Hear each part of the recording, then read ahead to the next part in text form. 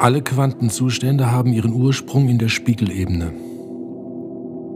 Wir erzeugen die Spin-Zustände up und down durch den hier gezeigten Doppelpfeil. Kombinierte Zustände mit zwei Spins können wir erzeugen, indem wir den Doppelpfeil auf die jeweilige Position des ersten Spins verschieben. Es ergeben sich die vier Kombinationen Up-Up, Up-Down, Down-Up und Down-Down. Für ein tieferes Verständnis von zwei Spin-Zuständen und allgemein Mehrteilchen-Quantenphysik spielen Symmetrien unter Vertauschung eine wesentliche Rolle. Solche Symmetrien begegnen uns auch bei klassischen Schwingungszuständen. Erinnern wir uns an die Tasse mit Henkel. Durch Spiegelung an der gezeigten Ebene am Henkel geht der Zustand mit Schwingungsbauch am Henkel in sich selber über. Der Zustand mit Schwingungsknoten am Henkel aber in sein Negatives.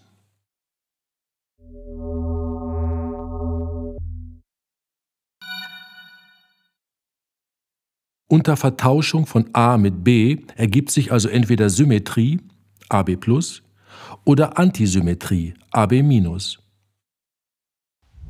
Symmetrie oder Antisymmetrie unter Vertauschung von A und B findet sich als Prinzip bei zwei Teilchenzuständen wieder. Denn die Kombinationen aus zwei ununterscheidbaren Spins überlagern zu gemeinsamen Schwingungsmoden, die entweder symmetrisch oder antisymmetrisch unter Vertauschung der Spins A und B sind.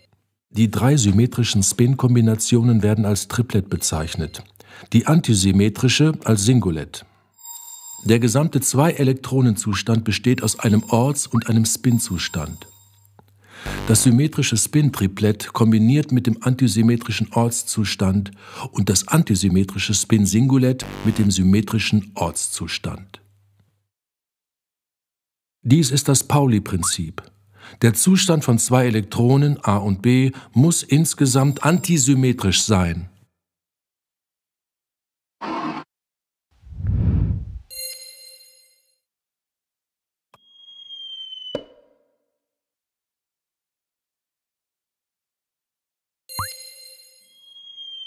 Aus dem Pauli-Prinzip folgt aber auch, dass jeder Spin-Zustand nur einmal besetzt werden kann. Dies liegt an der Doppeldeutigkeit. Die Rotation um 360 Grad führt beim Spin zu einem Vorzeichenwechsel. Erst nach 720 Grad ist der Ausgangszustand wieder erreicht. Für einen einzelnen Spin ist dies irrelevant, da die Phase des drehenden Rades unbeobachtbar ist. Ist derselbe Spinzustand aber doppelt besetzt, ergibt die Vertauschung der Teilchen A und B bzw. die Drehung einer der beiden Spins um 360 Grad aber wegen der Doppeldeutigkeit genau das Negative des Ausgangszustandes. Ein identischer Zustand kann aber nur dann gleich seinem eigenen Negativen sein, wenn er gleich Null ist.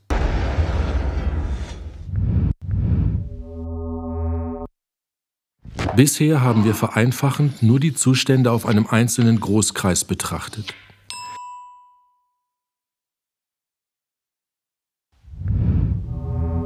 Die Geometrie der Quantendimension ist weitaus komplexer. Links zeigen wir die uns bekannte zweidimensionale Kugeloberfläche in drei Dimensionen. Rechts zeigen wir entsprechende Punkte der dreidimensionalen Kugeloberfläche in vier Dimensionen, die wir stereografisch projizieren, also so verzerren, dass eine Darstellung überhaupt möglich wird. In der Tat schließt der Großkreis in vier Dimensionen erst nach doppelter Umrundung der Kugel in drei Dimensionen. Die Knotenlinie des Spin-Zustands in der Quantendimension wird durch diese Projektion zu einem Knotenpunkt auf der Blochkugel. Die Antipode des Knotenpunkts ist der Ort maximaler Amplitude.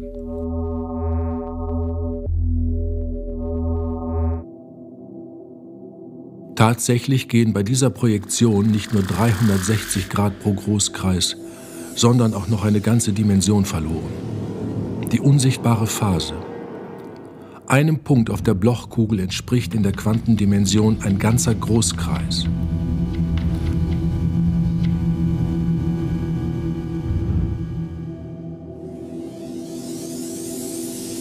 Alle unsichtbaren Phasen befinden sich auf ineinander verschlungenen Großkreisen. Betrachten wir eine Schar von Punkten auf der Blochkugel. entsprechen dieser in der Quantendimension einem faszinierenden System von ineinander verschlungenen Ringen. Aber dies ist erst der Anfang, der Aufbruch in die Quantendimension. Darf ich mich vorstellen?